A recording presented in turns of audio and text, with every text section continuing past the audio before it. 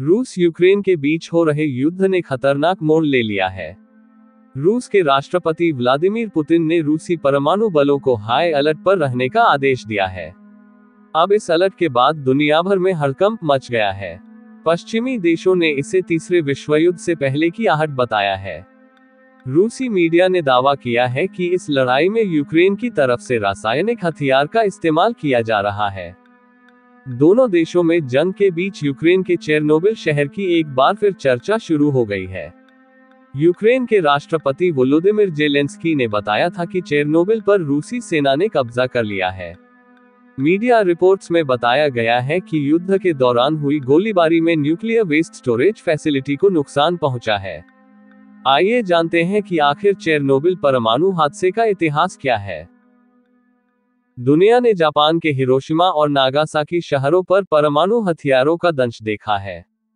लेकिन परमाणु प्लांटों में हुई घटनाओं के चलते भी लाखों की संख्या में लोग प्रभावित हुए हैं। 26 अप्रैल 1986 को यूक्रेन के चरनोबिल में स्थित न्यूक्लियर पावर प्लांट में हुई घटना के चलते करीब एक दशमलव दो पाँच लाख लोग मारे गए।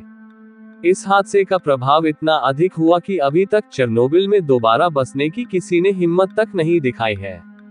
यहाँ रहने वाले जीव जंतु पूरी तरह से खत्म हो चुके हैं। पावर प्लांट में होने वाले एक नियमित परीक्षण को गलत तरीके से किया गया। इसके बाद प्लांट में हुए दो बड़े विस्फोटों ने रिएक्टर की एक हज़ार टन की छत को उड़ा दिया। इससे हिरोशिमा पर गिराए गए परमाणु बम की तुलना में 400 गुना ज़्यादा रेडिएशन निकला। प्लांट में हुए विस्फोट में दो कर्मचारियों की मौत हुई। वहीं आने वाले महीनों में रेडिएशन के चलते 28 और लोगों की मौत हो गई। दूसरी ओर, रेडिएशन की चपेट में आने की वजह से हज़ारों की संख्या में लोगों को कैंसर हो गया, जो उनकी मौत की वजह बना। चेरनोबिल की घटना ने लोगों के बीच न्यूक्लियर प्लांट के खतरे को उजागर किया। साथ ही सोवियत संघ की सरकार की विफलता को भी उजागर किया। यूक्रेन की राजधानी कीव से करीब 80 मील उत्तर में चेरनोबिल स्थित है। प्लांट में काम करने वाले मजदूरों और उनके परिवारों के रहने के लिए न्यूक्लियर प्लांट से कुछ मील की दूरी पर एक छोटे से शहर प्रिपट को बसाया गया था। चेरनोबिल पावर प्लांट के निर्माण की शुरुआत 1977 में हुई थी। इस दौरान यूक्रेन सोवियत संघ का हिस्सा था। उन्नीस सौ तिरासी तक चार न्यूक्लियर रिएक्टर का काम पूरा हो चुका था।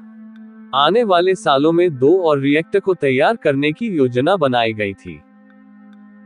अड़तीस साल पहले 26 अप्रैल 1986 को तत्कालीन सोवियत संघ के चेरनोबिल के न्यूक्लियर पावर प्लांट में भयानक विस्फोट हुआ था। ये धमाका इतना विनाशकारी था कि कुछ ही घंटे में यहाँ काम करने वाले 32 कर्मचारियों की मौत हो गई थी, जबकि न्यूक्लियर रेडिएशन से सैकड़ों कर्मचारी बुरी तरह जल गए थे। सोवियत संघ द्वारा इस हादसे को दुनिया से छिपाने की कोशिश गई। लेकिन स्वीडन सरकार की एक रिपोर्ट के बाद तत्कालीन सोवियत संघ ने इस हादसे को माना था। सोवियत संघ के बंटवारे के बाद चेरनोबिल यूक्रेन में आ गया। चेरनोबिल न्यूक्लियर प्लांट प्रीपियत शहर से तीन किलोमीटर की दूरी पर स्थित था। 1970 में प्रीपियत शहर को बसाया गया था। इस न्यूक्लियर प्लांट से 15 किलोमीटर की दूरी पर चेरनोबिल शहर था। इस कस्बे में बारह हज़ार लोग रहते थे। इसके अलावा बाकी इलाके में खेती की जाती थी। चेरनोबिल न्यूक्लियर पावर प्लांट में चार रिएक्टर थे। चेरनोबिल न्यूक्लियर प्लांट में खराबी आने की वजह से हादसा हुआ था। इस भीषण हादसे में संयंत्र की छत उड़ गई थी और रेडिएशन काफ़ी दूर तक फैल गया था। दरअसल 26 अप्रैल को न्यूक्लियर पावर प्लांट में एक जाँच की जानी थी। इस जाँच के दौरान ही प्लांट में भीषण विस्फोट हुआ था। वैज्ञानिक एक इलेक्ट्रिकल सिस्टम की जाँच कर यह पता लगाना चाहते थे कि बिजली सप्लाई बंद होने के बाद रिएक्टर के उपकरण काम करते हैं या नहीं। 26 अप्रैल के तड़के एक बज के तेईस मिनट प्लांट की बिजली गुल हो गई। इसके बाद दिन में इस बात की जाँच के लिए एक नियमित अभ्यास किया गया कि क्या बिजली गुल होने से प्लांट के आपातकालीन वाटर कूलेंट सिस्टम काम करेगा या नहीं।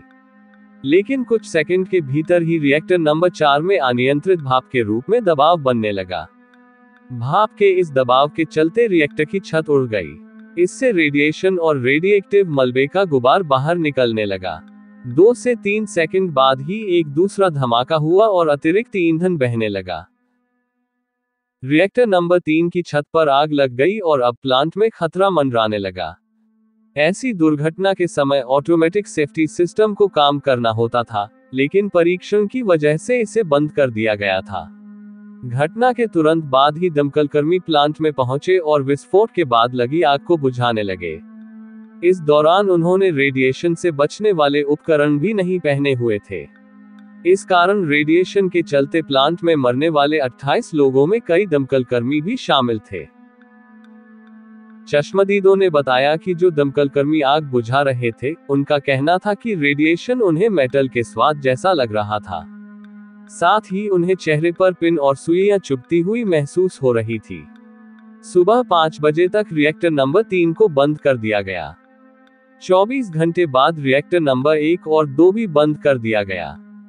26 अप्रैल की दोपहर को सोवियत सरकार ने आग बुझाने के लिए सैनिकों को तैनात किया।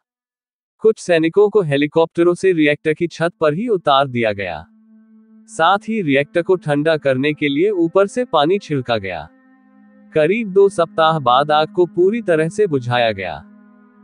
यूक्रेन की सरकार ने उन्नीस में बताया कि चेरनोबिल रेडिएशन की वजह से करीब एक लाख पच्चीस हज़ार लोगों की मौत हुई। संयुक्त राष्ट्र चेरनोबिल फोरम की 2005 की एक रिपोर्ट में अनुमान लगाया गया कि दुर्घटना के बाद के महीनों में 50 से कम लोग मारे गए थे। वहीं 9000 लोग चेरनोबिल के रेडिएशन के संपर्क में आने से हुए कैंसर की वजह से मारे गए। चेरनोबिल आपदा से हुए स्वास्थ्य प्रभाव स्पष्ट बना हुआ है। दूसरी ओर ट्रिपट में रहने वाले करीब पचास हज़ार लोगों को वहाँ से बाहर निकाला गया। लोग अपने घरों और सामानों को छोड़कर वहाँ से जान बचाकर भाग गए।